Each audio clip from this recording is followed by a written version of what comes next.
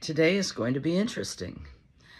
I'm going to play pickleball, and then I'm going down to the civil courts and swearing out a warrant for the arrest of a woman who last week wrote a check on my account for $300,000. I mean, really. Yesterday morning, I get a call from the wonderful banker at US Bank who saw, saw that another check had been written on my new account, and this was for $5,000. And he called me immediately, and I said, It's fraud. And I said, Call the police. And he tried to, and she was already gone.